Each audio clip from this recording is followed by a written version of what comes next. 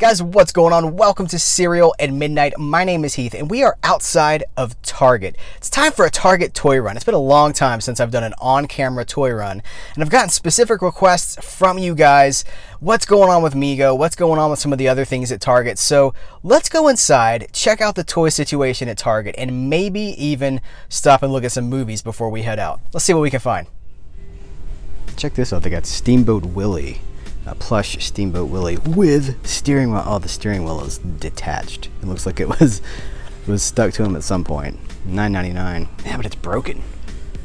Here's a clearance aisle. It's an end cap. We got a bunch of Jurassic Park, Jurassic World toys on clearance for looks like three dollars and ninety-eight cents, and some Avengers and DuckTales. Have you guys seen the new DuckTales show? I haven't watched it. I was wondering what you thought about it. I'm a big fan of the old school DuckTales show, but I haven't seen the new one. And then this. This is amazing. Spider Ham, Spider Ham. He pushes ears and his eyes change. This might be coming home with me. Got a lot of open gaps here. This is the Star Wars collection. Now there's a Star Wars movie coming. Why, why are there not more Star Wars toys on the shelf? This is Hasbro, right? This has to be Hasbro's fault. Just bad stock. We got Jenner, so Supreme Leader Snoke. He's already he's been opened. it's not a good time to be a Star Wars collector. Um, you guys know after I saw Bumblebee, I got really into the Bumblebee, the, the Transformers toys again, but look, I mean, it's just a lot of empty pegs. There's a few things here. Um, I like these Cyberverse figures. Have you guys seen Transformers Cyberverse? It's a YouTube series, or it's showing on YouTube. Um, I actually like it. It's pretty cool. It's a good jumping on point for Transformers, but as far as Transformers toys, there's not a lot here. Still a lot of empty pegs. This is what it looked like at Christmas time, and this is still what it looks like now.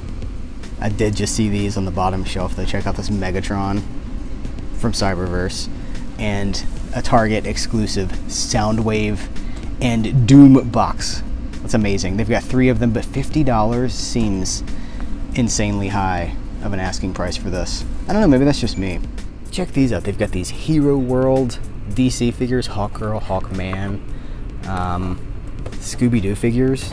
I don't remember either one of these. Snow Ghost and Ghost Clown. What was Ghost Clown from? I don't remember that. But then they've got the Wreck-It Ralph figures on clearance as well. $4.98, which is half off of the uh, the retail price. They've also got the big, bigger Wreck-It Ralph figures. Um, and I'm tempted. I'm really tempted to pick this guy up. He's 15. He was 30. And he talks.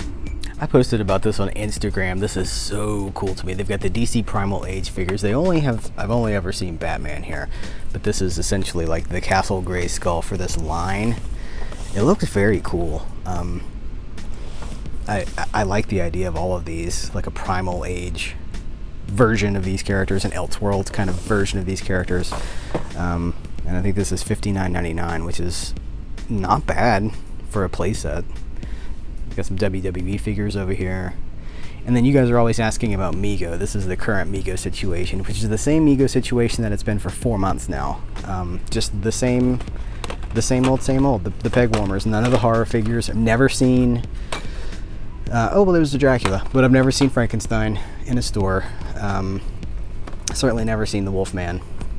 It's just the same facts of life, the TV characters. That's all that that's all that's here. And they have the Wizard of Oz and the I Dream of Jeannie two packs. And then here's the uh, the Marvel Legends, which I used to love these. Check out check out Malekith. This is a killer Malekith figure. Um, you know, from Thor: The Dark World 2, but uh, really from Walt Simonson's run on Thor. Um, and they they've also got a Black Knight, which looks fantastic. Grey Gargoyle. I'm very tempted by these, but I just I can't get back into the $20 figure collecting game. Got the Avengers Infinity War Thor. Ant-Man. I think there's a Wasp around here somewhere. Yeah, here's Wasp. Good figures, man. You got changeable heads. This is the way you do it. Captain Marvel. Oh look, it's young Nick Fury, and he comes with, well, the cat. Here's the new Avengers toys, and I don't know that they're really tipping much. Um, as far as giving away any spoilers, Thanos has he's got a smile on his face. This is kind of like a a, a heavily medicated Thanos.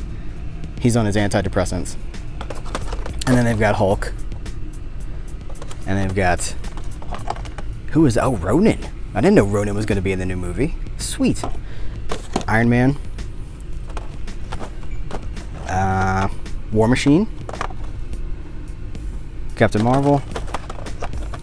You know, actually a really good Captain Marvel figure. I like that a lot. And then let's see what Cap looks like. Yeah. You guys, if these DuckTales toys had existed in the 80s when I was watching the show, oh, I can't even imagine. I would have been in heaven. Check out, they got the Sun Chaser. It's amazing. I don't see any Scrooge McDucks over here. Even though I haven't seen this show, I'm tempted just because it's DuckTales and because these are such a good price. $4.48. That's not bad, right? I said if they had Scrooge McDuck, I'd be tempted. They have one Scrooge McDuck, McDuck left on the clearance end cap here. And he comes with the golden idol. Oh, you guys, do I start collecting DuckTales figures? I don't know. Uh, I don't buy a lot of this stuff, but I like to come over here and see what's going on. Um, I know they had a lot of Cuphead merchandise here the last time I was looking. Uh, this is where they keep all the Funko Pops and everything like that. I do want to point out this. This is uh, the Stranger Things Demogorgon. It was $40 and it's now $11.98. And my daughter is a huge Stranger Things fan and collectible. She collects all the Funkos. Um, I might have to grab this for her, or at least let her know about it and see if she's interested. And I don't. They don't have Dustin or Lucas here, so I don't know what the situation is. I don't know if they overestimated the demand on the Demogorgon or what, but um, well, there's some more down there. Let's make sure that Dustin and Lucas aren't behind it. No, it's just just this one.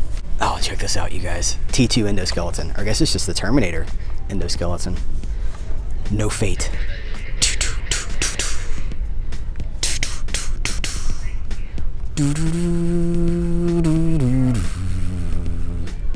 Vince Gilligan? Holy crap.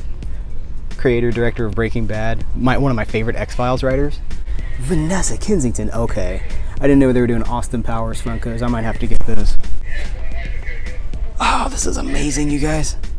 I need these. I just noticed these Star Wars, uh, the Star Wars backpack, which is pretty sweet, and the Star Wars lunchbox, which I think is not pretty sweet. Like these look like romance novel covers or something. And then like look at Han. He's like, hey, doesn't this look looks like romance fiction or something? What's on this side? Well, that looks cool. Is the back any different? Well, I like that. That looks good.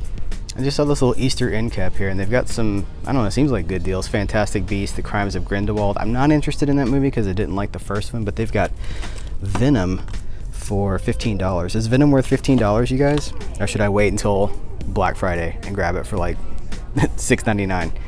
Um, Ready Player One. Ooh, Creed 2 for $15. That's a good deal too. The shadows now.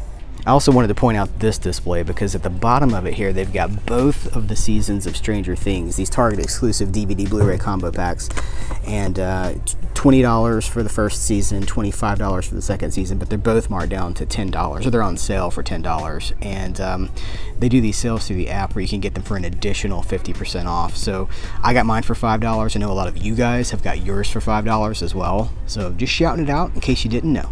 Check this out, guys. They've repackaged these Doctor Who sets. So this is the complete Christopher Eccleston and David Tennant years.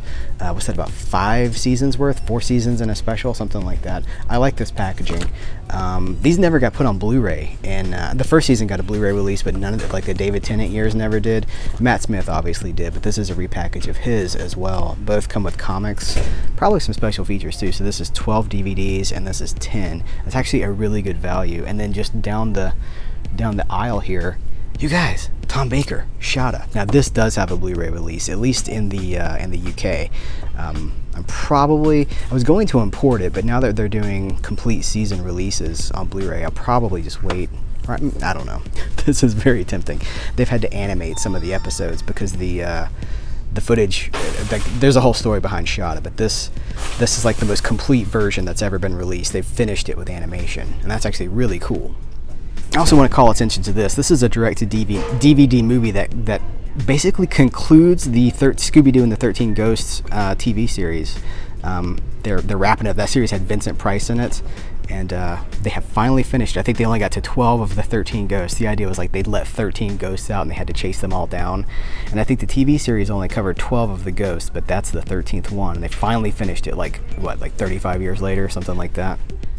This is something a lot of you guys have talked to me about one of my, my feedback on, because you guys know I like the Mill Creek retro VHS slipcases. So these are basically just clamshell packaging like you would have a VHS in, but inside it's just a, like a Blu-ray, sometimes a DVD too, I guess. No, they're all just Blu-rays and then a digital code.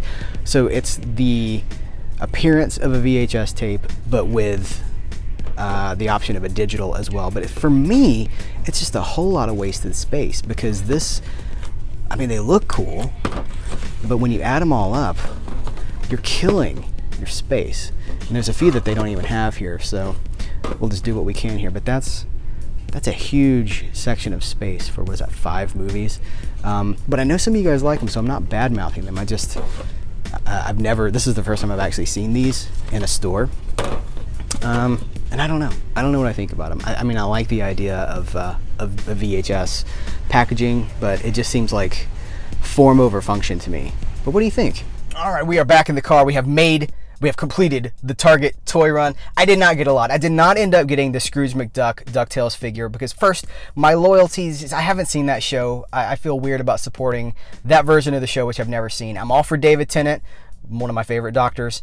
Uh, but I just I, I feels weird to buy a toy for a show I haven't seen. Also, the the paint application on that figure, the one that was left, had he had like black black spots on his beak from a bad paint application. And that's not how it's supposed to be. So uh, I ended up just passing. If it's meant to be, if they go down even further, if it's like two bucks or something like that, I'll pick it up.